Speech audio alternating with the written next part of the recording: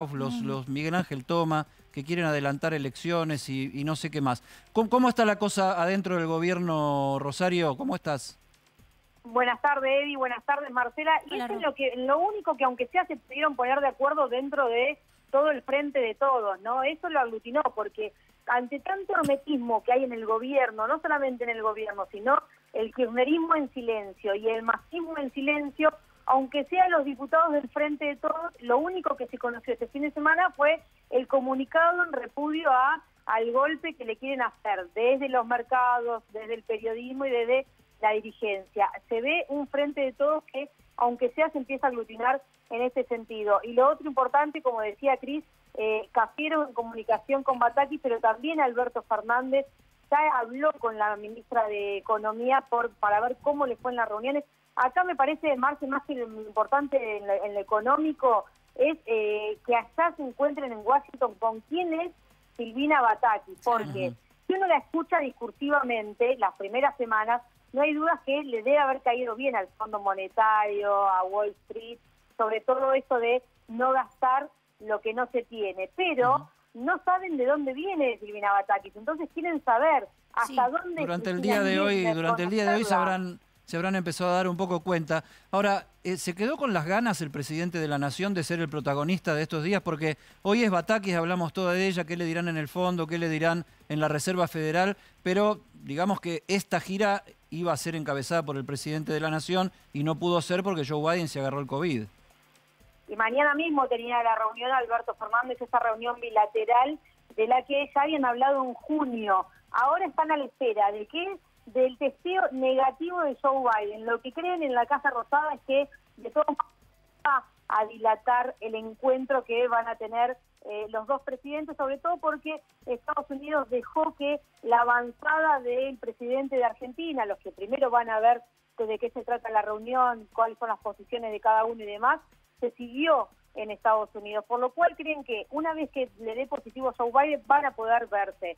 Recordemos que también hay una cumbre en Nueva York en septiembre que puede ser un cara a cara, pero es importante que Joe Biden no suspenda esa visita. No es lo mismo tener una bilateral con Joe Biden recibiéndolo en la Casa Blanca que en una cumbre bilateral. Claro, que un ratito No, en un eh, pasillo. A ver, quienes sabemos cómo se maneja el Fondo Monetario, mm, le pusimos muy poca expectativa a la bilateral de hoy con Batakis, porque en realidad es una formalidad requerida. Eh, cualquier ministro se tiene que presentar al organismo cuando hay una negociación y un acuerdo tan intenso que requiere revisiones constantes.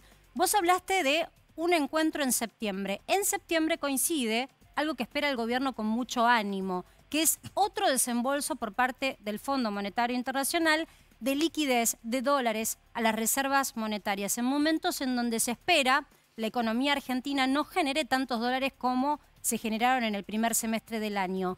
¿Qué expectativa tiene hoy el gabinete económico sobre ese desembolso? Si a ciencia cierta de eso se tiene que tratar ahora la negociación. Marce, sobre ese desembolso y sobre septiembre, ¿no? Parece que todo está supeditado a lo que pase en septiembre. Incluso Miguel Pese del Banco Central diciendo, bueno, que parece un juego de, de chicos que están jugando abajo del agua a ver quién Hmm. eh, dura más sin respirar. Bueno, ¿no? Hay que hay que Qué aguantar bueno el aire, aguantar el aire y todos dicen, es hasta septiembre. No solamente porque se termina el invierno, sino como vos decías, a ver si pueden entrar dólares frescos no solamente del campo, que no están pudiendo hacerlos entrar, sino aunque sea del Fondo Monetario. Y Ahora, sobre es- eso, perdón, digo, esa expectativa que tiene el gobierno, ¿esa expectativa fundada en una negociación concreta con el Fondo Monetario? ¿O es una expectativa sobre lo que otro ministro, que era Guzmán, había negociado? Y ahí está Bataki, ¿no? Porque vos decías, otro ministro había negociado, un ministro que se llevaba bien con el FMI, Claro. pero que pero que Bataki, lo cierto, es que va a mostrar otros números al FMI de los que mostró Martín Guzmán. Ahora, los números de Martín Guzmán, que uno puede ser, decir economía creativa, dibujada, quizás y demás, fueron aprobados por el Fondo Monetario Internacional Sí. también en la revisión que tuvieron, por lo cual también me parece que Bataki lo que va a decir es estos números, que esta crisis que está teniendo la Argentina, con la que yo me encontré, que era mucho más dura de la que pensamos, ustedes la sabían. Eh, para las dos, para Rosario y para, para Marcela, que son gente muy informada. Lo que yo tengo desde el gobierno es una información que tiene dos puntitas nada más. Una, gran trabajo de Jorge Argüello, el embajador argentino en Washington, en la preparación de todo esto y ablandar los oídos y tal vez los corazones para que sea más receptiva la bienvenida a Silvina Batakis. Y por otro lado, que la agenda de Batakis, más que financiera, económica, de planes, más política y más diplomática, se diría que otra cosa, y que el centro del discurso es, amigos, después de la invasión de Rusia a Ucrania, el mundo es otro, tenemos que aflojar un poquito la, cuerda, todas las ecuaciones energéticas de todos los países como la Argentina cambiaron, eso hace, requiere de más dólares, etcétera, etcétera. ¿Coincide la información con lo que ustedes tienen? Yo no sé si Batakis tiene el perfil como para imponer políticamente una agenda distinta a la que se espera de Argentina. Yo tengo mis serias dudas, sobre todo porque los que estamos a merced de recibir las divisas somos nosotros como país, no ellos como organismo que presta. Eh, sí me, entra mucha inquietud en lo que marcaba Ro, en qué otros números llevará, llevará Batakis a Georgieva, teniendo presente que en el medio, entre el cambio de gabinete, pasaron cosas y entre otras cosas pasó la mirada de Cristina Fernández de Kirchner, Ro.